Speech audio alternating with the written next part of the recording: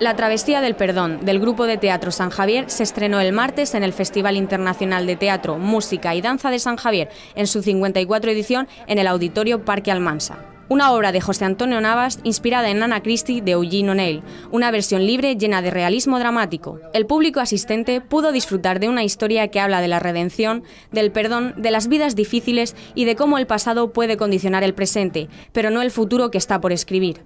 El grupo de teatro San Javier, vinculado a los orígenes del certamen, sigue ocupando un lugar preferente en su programación, gracias a su entrega y dedicación a la cultura del municipio. Esta nueva edición del festival pretende guiar al público por un largo camino lleno de historia, desde la Grecia de Aristófanes hasta las vanguardias del siglo XXI, deteniéndose siempre en la relevancia del teatro local y regional.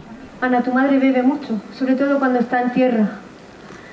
Me preocupa un poco y tú, como eres su hija y además eres enfermera, le tengo mucho aprecio, pero es que no hace caso a nadie. Espero que contigo aquí la cosa cambie. ¿Dónde está? Al final del muelle a la izquierda hay una zona donde se hacen pequeñas reparaciones. Tu madre suele pasar tiempo allí, con la única compañía una botella de whisky. Voy para allá. Por favor, no le digas que te lo he dicho yo. No, tranquila. Sé guardar un secreto. Gracias.